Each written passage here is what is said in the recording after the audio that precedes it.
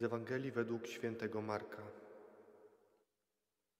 I zaraz, gdy on jeszcze mówił, zjawił się Judasz, jeden z dwunastu, a z nim zgraja z mieczami i kijami, wysłana przez arcykapłanów, uczonych w piśmie i starszych. A zdrajca dał im taki znak. Ten, którego pocałuje, to właśnie on. Chwyćcie go i wyprowadźcie ostrożnie. Skoro tylko przyszedł, przystąpił do Jezusa i rzekł: Rabbi, i pocałował go. Tamci zaś rzucili się na niego i pochwycili go. A jeden z tych, którzy tam stali, dobył miecza, uderzył sługa najwyższego kapłana i odciął mu ucho. A Jezus zwrócił się i rzekł do nich: Wyszliście z mieczami i kijami jak na zbójce, żeby mnie pojmać. Codziennie nauczałem u was w świątyni, a nie pochwyciliście mnie. Muszą się jednak wypełnić pisma. Wtedy opuścili go wszyscy i uciekli. Bracia i siostry, czciciele męki pańskiej. W czasie nabożeństwa gorzkich żali, myślami i sercem chcemy podążać ulicami starożytnej Jerozolimy po śladach naszego Pana Jezusa Chrystusa. Aresztowany w ogrodzie oliwnym, staje się przedmiotem w rozgrywkach pomiędzy faryzeuszami, uczonymi w prawie, Annaszem, Kajfaszem, Herodem czy Piłatem. Każdy z nich kombinuje, jakby tu ugrać na tej sprawie jak najwięcej dla siebie. A tok wydarzeń jasno pokazuje nam, że nie chodzi tutaj o żadne przepisy religijne czy polityczne, tylko o czyjś interes. Co mogę zyskać na tym pozbawionym wolności i praw człowieku? Co wybrać, kiedy mając go w ręku mogę z nim zrobić, co tylko zechcę? Jezus w niewoli, wszechmocny Bóg, a skuty kajdanami. Ten, za którym szły tłumy, witany jeszcze niedawno owacyjnie w bramach Jerozolimy, teraz jest całkowicie zdany na łaskę i niełaskę garstki zawistnych obłudników sprawujących władzę nad Palestyną. Ślady spętanego Jezusa znaczą drogę, którą iść będą kolejne pokolenia Jego uczniów. Jeżeli was świat nienawidzi, wiedzcie, że mnie pierwej znienawidził. Jeżeli mnie prześladowali, to i was będą prześladować. Ksiądz profesor Antoni Bogdański podczas pewnego wykładu liturgii wiosną 1920 roku powiedział nam: Przyjdzie czas, gdy przejdziecie takie udręki, o jakich człowiek naszego wieku nawet myśleć nie umie. Wielu przejdzie przez więzienie. Niewielu z moich kolegów zapamiętało te słowa. Zanotował w zapiskach więziennych kardynał Stefan Wyszyński. Przywołał on to odległe wspomnienie wkrótce po tym, jak 25 września 1953 roku został uprowadzony. W środku nocy, gwałtem dostając się do rezydencji prymasowskiej przy ulicy Miodowej w Warszawie, funkcjonariusze Urzędu Bezpieczeństwa zabrali go i uwięzili na długie trzy lata. Noc ogrójca i zgraja żołdaków arcykapłana na czele z Judaszem. Noc warszawska i najście ubeków, aresztowanie, a potem ciemna droga w nieznane miejsce internowania. Uczeń nie przewyższa nauczyciela, ani sługa swego Pana. Wystarczy, jeśli uczeń będzie jak jego nauczyciel, a sługa jak Pan jego. Moi drodzy, dla człowieka żyjącego blisko swojego boskiego mistrza, chwila ta, choć gwałtowna, nie przyszła jak złodziej, nie zabrała skarbu wiary. Prymas Wyszyński wspominał, że z perspektywy czasu dostrzegał drogę, którą Bóg prowadził go do momentu aresztowania i internowania. Na pierwszej parafii, którą wizytował po objęciu archidiecezji gnieźnieńskiej, otrzymał w prezencie obraz. Przedstawiał Jezusa związanego i popychanego przez żołnierza. Niedługo później umieścił go w swoim biurze. W relacjach z najbliższymi, kontaktach z ojcem i siostrami coraz częściej pojawiały się płacz i troska o jego życie. Wyszyński stwierdził wręcz, że zaczynało panować powszechne oczekiwanie jego nieuchronnego uwięzienia. I tak na jednym ze spotkań episkopatu otrzymał od jednego z biskupów książkę o kardynale Leduchowskim. Więziony był on w czasach zaborów przez władze niemieckie. Wręczający ten prezent dodał: Proszę to przeczytać, to jeszcze może się przydać. Także z Watykanu ostrzegano Wyszyńskiego o grożącym niebezpieczeństwie. Dlatego dalej napisał: Wielu księży było tak bardzo przekonanych o nieodzowności takiego końca, że domagali się szybkiego załatwiania swoich spraw. Społeczeństwo niemal oczekiwało tego momentu. Niektórzy byli wyraźnie zawiedzeni, że to jeszcze nie. W takiej atmosferze predestynacji powszechnej na uwięzienie miałem pracować. Byłem gotów na wszystko. Odpowiedział Piłatowi Jezus: Ja się na to narodziłem i na to przyszedłem na świat, aby dać świadectwo prawdzie. Pozostawało więc jedynie pytanie, kiedy komunistyczna władza zdecyduje się na taki krok. Prowokowano. Nieraz z kół rządowych zarzucano mi, że chcę zostać męczennikiem. Daleki byłem od tej myśli, pisał prymas.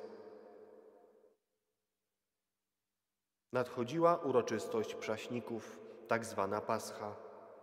Arcykapłani i uczeni w piśmie szukali sposobu, jakby go zabić, gdyż bali się ludu.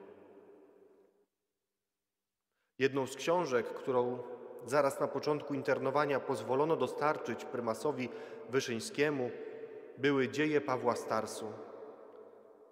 Dzięki tej lekturze dostrzegł, że jego cierpienie jest kontynuacją drogi, jaką dla zbawienia świata podjął najpierw Jezus Chrystus, a za jego przykładem poszli jego kolejni uczniowie, apostołowie, w tym także święty Paweł. Aresztowanego Jezusa prowadzono najpierw z ogrodu oliwnego do Kajfasza, stamtąd do Piłata, do Heroda, znów do Piłata. Świętego Pawła więziono najpierw w Filipi, a po raz drugi pojmano go w Jerozolimie i przetrzymywano w Cezarei i w Rzymie. Kardynał Wyszyński więziony był kolejno w niemal całkowitej izolacji od świata, najpierw w Rywałdzie koło Lidzbarka, potem w Prudniku Śląskim, dalej Stoczku Warmińskim i wreszcie w Komańczy w Bieszczadach. Szedł śladami Chrystusa, śladami Jego uczniów. Prymas zanotował po półrocznym więzieniu. Ósmy sakrament z życia Kościoła to męczeństwo. Chrystus sam go uświęcił, gdy nazwał błogosławionymi tych, których prześladować będą. A w innym zapisie czytamy, że sprawa Chrystusowa trwa już blisko dwa tysiące lat. I za tę sprawę ludzie siedzą do dziś dnia w więzieniach. Sprawa się nie przeżyła. Jest aktualna, świeża, młoda, pociągająca. Ile wart się zmieniło, ile więzień rozsypało w gruzy, ile kluczy zardzewiało, ile zamków i łańcuchów opadło, a sprawa trwa. Pomimo niemożności sprawowania swoich funkcji i urzędów kościelnych, prymas Wyszyński nie tracił wiary w sens tego cierpienia. Dzięki dostrzeżeniu tego, iż wpisuje się w wielowiekową drogę uczniów Chrystusa, powiedział: Biskup pełni swój obowiązek nie tylko na ambonie i przy ołtarzu, ale także w więzieniu. Historia Kościoła to walny przyczynek do dziejów więziennictwa, zauważył z ironią. A co w swojej sytuacji więzienia postrzegał jako największe zagrożenie dla wiary? Lęk. Lęk, bo on budzi nieufność do potęgi mistrza, ściska serce i kurczy gardło. Lęk apostoła jest pierwszym sprzymierzeńcem nieprzyjaciół, którym chodzi tylko o to, by zmusić do milczenia przez lęk. Chrystus nie dał się steroryzować ludziom. Gdy wyszedł na spotkanie hałastry, odważnie powiedział: Ja jestem. Zapisał w zapiskach więziennych. Siostro i bracie, a w ilu więzieniach tkwi każdy z nas? Doświadczenie rodzinnej sytuacji bez wyjścia, relacji zdawałoby się już nie do uzdrowienia, choroby nie do pokonania. To są więzienia zewnętrzne, ale są i takie, które tkwią głęboko w nas. Więzienia egoizmu i pychy, zachłanności, rządzy dominacji, więzienia karierowiczowstwa i nieprzebaczenia. Sami zobaczmy, ile krat przesłania nam Boga i drugiego człowieka. Ile więzień nie pozwala nam spojrzeć z miłością na samych siebie. I chmury wołają do Boga o ratunek. Rozwinąwszy księgę, Jezus natrafił na miejsce, gdzie było napisane: Duch Pański spoczywa na mnie, ponieważ mnie namaścił i posłał mnie, abym ubogim niósł dobrą nowinę, więźniom głosił wolność. Dziś spełniły się te słowa pisma, któreście słyszeli. Wolność przychodzi wraz z bliskością Chrystusa. I Jezus był z kardynałem Stefanem Wyszyńskim każdego dnia jego internowania.